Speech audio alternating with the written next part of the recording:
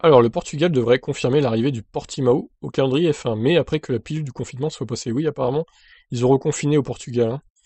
Le Portugal a su maîtriser la pandémie en 2020, mais ce n'est plus vraiment le cas avec l'hiver en Europe. Et comme de très nombreux pays de ce continent, c'est un confinement qui vient d'être décidé dans le pays. Le confinement du peuple portugais décidé pour au moins un mois pourrait-il remettre en cause les négociations en cours entre Portimao et la FOM de Liberty Media concernant la course qui reste à attribuer au calendrier du 30 au 2 mai, du 30 avril au 2 mai?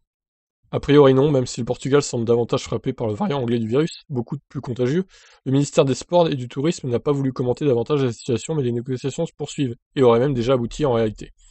En effet, en termes de communication, annoncer un Grand Prix et un confinement la même semaine en effet pas très, ne serait pas très bien vu dans le pays. Selon plusieurs sources, la confirmation de Portimao est à attendre d'ici la fin janvier ou début février. Bon, bah pourquoi pas Portimao de retour du coup? Ouais, euh, je pense que le 30 avril, euh, entre le 30 avril et le 2 mai, il y aura plus, il y aura plus trop de cas là-bas. Euh, les beaux jours vont reprendre, donc euh, ça devrait se passer mieux. Euh, il y aura plus besoin de confiner. Alors nous, on rappelle en France, hein, couvre-feu à 18h pour tout le monde, toutes les régions de France à partir de samedi jusqu'à fin janvier minimum.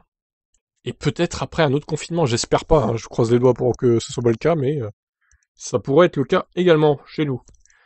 Croisons les doigts pour que ça soit pas le cas, et voilà. Donc on attend une annonce de Portimao fin janvier, début février.